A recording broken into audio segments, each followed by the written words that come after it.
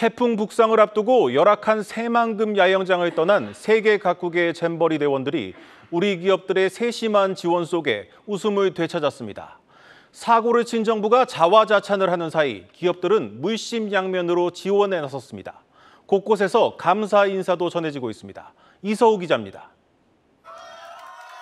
딱지가 뒤집히자 환호성이 터져 나옵니다. 양궁을 배워보고 케이팝 댄스도 따라 춰봅니다. 무더위 속에서 고생했던 잼버리 대원들의 마음도 다소 누그러졌습니다. Here it's definitely very comfortable. It's very spacious. Uh, the aircon, the food, and accommodations are all really good, and uh, I feel really comfortable here. 현대차 그룹은 그룹 연수원 4곳을 숙소로 지원하고 1000명가량의 대원들에게 한국 문화 체험 프로그램을 제공하고 있습니다.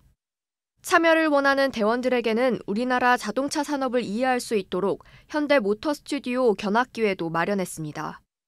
태풍 북상으로 지난 8일 새만금 야영장을 떠난 156개국 3만 6천여 명의 대원들은 지자체와 기업, 대학 등에서 제공한 숙소에서 지내고 있습니다. 현대차 그룹을 비롯해 삼성, LG, SK, 포스코 등 대기업들이 적극적으로 지원에 나서면서 지자체에서도 부담을 덜었습니다. 기업들은 숙소뿐 아니라 산업 현장 견학, 문화체험 등 행사들도 적극적으로 마련하면서 대원들의 남은 기간을 책임지고 있습니다. 잼버리 대원들은 오는 11일 서울 월드컵 경기장에서 열리는 K-팝 콘서트를 관람하고 12일에는 잼버리 폐막 이후 귀국할 예정입니다. 한국경제TV 이서우입니다.